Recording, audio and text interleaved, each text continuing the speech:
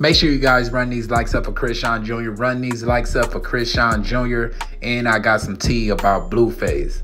Now, Chrisean, Chrisean Jr. is um, literally walking. Um, Blueface dad, you know, literally had confirmed that that he's trying to walk and stuff like that, y'all. I know y'all guys ain't really saw Chrisean Jr., you know, um, up to date you know, in video though, but this is what they saying that Chrisean Jr. already holding on to rails and pose and stuff like that though. So I mean that's normal though for, for a baby his age though. You know, comment at the bottom and tell me how y'all guys feel about that. But make sure y'all guys keep on listening. Make sure you keep on listening though, because I got some tea about Blueface. Now Chrisean Jr. is walking. You know, comment about that. Now here we go about Blueface. Now Blueface, I don't know what's going on. I don't know, but the last time, because a lot of people tend to forget the last time we heard Blueface on, on, on the phone, he was getting at Chrisean Rock in a messed up way from jail. You see what I'm saying? Because Chrisean Rock stayed out, you know, uh, for whatever reason, he got mad about that. Anybody remember that? Go ahead on and comment at the bottom if you remember his last jail phone call. Now he's talking about that he want to get full custody of Chrisean Jr. Make sure y'all guys keep on listening to this video so you get the tea. He's talking about that he want full custody of Chrisean Jr.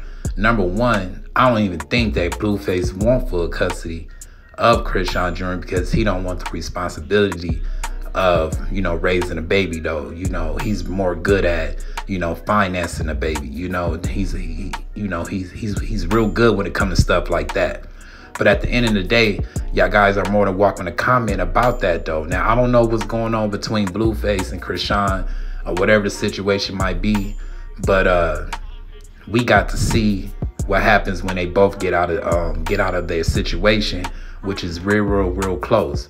But Blueface talking about he want full custody of Chrisean Dreams. Most likely, you know, in Blueface mindset, he feel like he gonna get out before Chrisean. I don't know why he feel that way.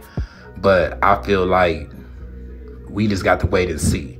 We don't want to make no assumptions on who's going to get out first or whatever the situation is. But he's talking about he want full custody of Chrisean Jr. I don't know why. I don't know why would, you know, he he tell his team that, people that's close to him, I'm well connected with a lot of people though. And this is what he's saying on his phone calls now. Y'all guys are more than welcome to give y'all guys commentary in the comment section. Tell me how y'all guys feel about that.